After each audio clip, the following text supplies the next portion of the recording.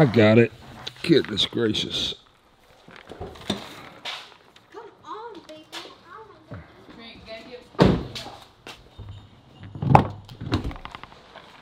Mr.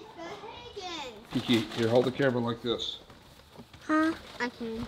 It's it, it's recording, so don't. Don't break it. Uh, woo! Here you go. I'll take the camera back. Kiki, come here. What'd you learn in class? Jesus. What'd you learn today, Pastor Carla? Jesus. Allie? What did you learn? Faithfulness. No. Gratefulness? No. She did. Yes, No. she did. No. We we learned about. She was up there too. What'd you learn about? We learned about um Gentleness. gentleness. I said gentleness. And you were You up said, there? You said gratefulness. What? I I get a blue one. Because we're busy today with the Fall Fest, we're having a very healthy lunch. Wait, this is the same one. Hey, what's your favorite restaurant, Presley? McDonald's. One. All right, so we're out the door going to the Fall Fest, Go like this, just know but y'all need to look at these kids right here.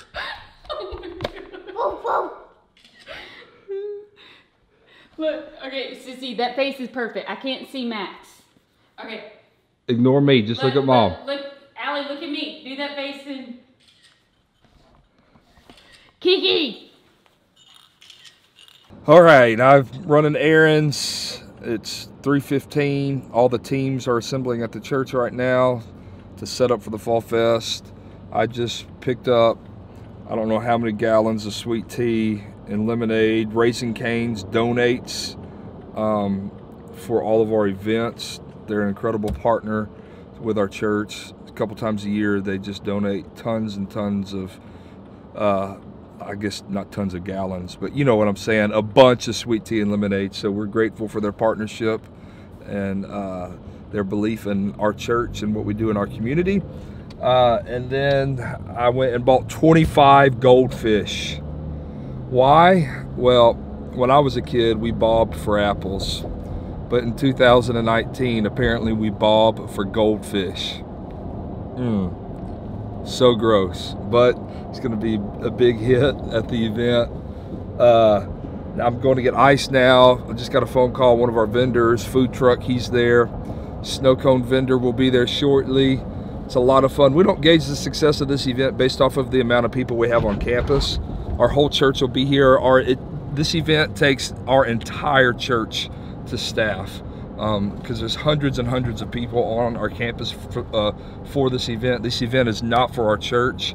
This event is for our community, um, and we gauge the success of this event not by how many people are on campus, but by how many people we can get back to a church service and connect with in that way. So the purpose of the event is not the event. The purpose of the event is life change, and life change happens through relationship and we believe that this is a vital event. This is proven to be a vital event for our church where we build new relationships and people's lives are changed because of positive relationships, but also because of the power of the Holy Spirit.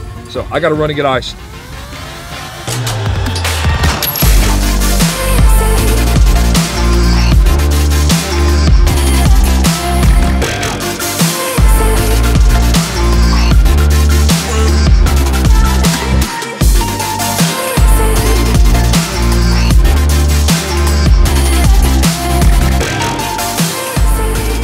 So it's Tuesday, a couple days after our fall festival. It was a lot of fun. We got uh, over 300, I think it was 308 new names, numbers, email addresses to add to our database. What we do with this is every contact that we get from events like this, we have two big events like this every year.